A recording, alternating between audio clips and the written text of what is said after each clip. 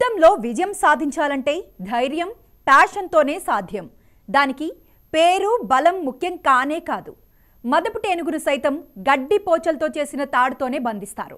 అలాగే బలవంతమైన సర్పం చలిచీమల చేత జిక్కి చావదే సుమతి అన్నట్లుగా సోషల్ మీడియాలో ఓ వీడియో తెగ వైరల్ అవుతోంది. ఇందులో ఓ చిట్టి ఉడత చేత చిక్కిన విషసర్పం ఎలా ఓడిపోయిందో మీరే చూడండి. సోషల్ మీడియా పుణ్యమా అని ఈ భూమి మీద ఎక్కడ ఏం జరిగినా అది ప్రపంచానికి తెలిసిపోతుంది.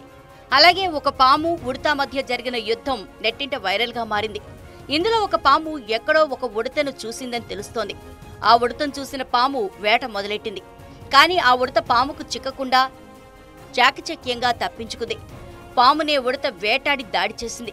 పదే పదే ఆ ఉడత పామును తీవ్రంగా గాయపరిచింది. చివరకు ఉడత దాడిలో తీవ్రంగా గాయపడ్డ పాము ప్రాణాలు కోల్పోయినట్లుగా తెలిసింది. ఈ ఘటనకు సంబంధించి వీడియో చూసిన నెటిజన్లు షాక్ అవుతున్నారు. చిన్నదే అయిన ఉడత ధైర్యానికి నెటిజన్లు భిన్నమైన కామెంట్లు చేస్తున్నారు.